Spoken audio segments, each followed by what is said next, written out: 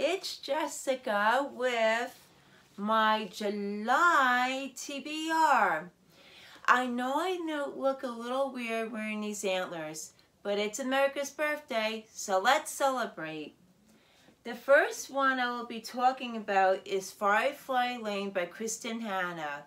I will be reading this for Sue Jackson's Big Book Summer Challenge. It's over 400 pages long, and also for my book club on my Discord server, Jess Book Girl TV. Uh, my book club on there is Jess Book Girls Book Club. If you want to join in, a link will be left down in the description box below. I saw the Netflix TV series earlier this year, it's the story of Kate Mularkey and Tully Hart who become best friends in the 1970s when they are young girls. And even though they're complete opposites, their relationship uh, lasts for over 30 years, even though they have their struggles. I'm also looking forward to uh, reading this book because I really love Kristin Hannah's writing. Next up is the children's classic, Alice's Adventures in Wonderland and Other Stories by Lewis Carroll. Now this book also has some great illustrations which I'll show you. I hope you could see this.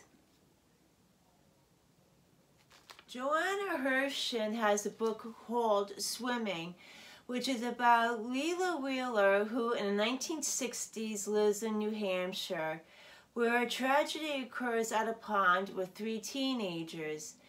Uh, Leela must have been a witness to the tragedy because a decade later she's living in New York and the past comes back to haunt her.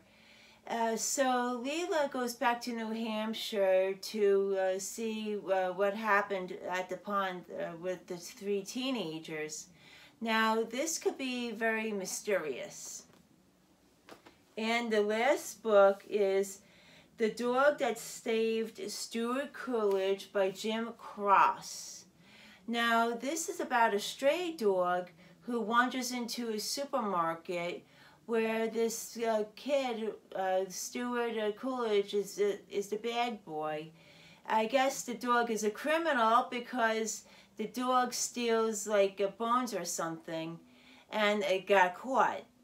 So Stewart, who is interested in his neighbor, Lisa, because he thinks she's very cute, uh, talks to her about the incident. Lisa, who wants to become a journalist, thinks that this might be a good story uh, for, uh, for her to cover. So she wants us to interview Stewart about uh, the dog. So it looks like this dog could be the key that hooks them up. Thank you all for watching and hit the like and subscribe buttons. Bye, bookworms.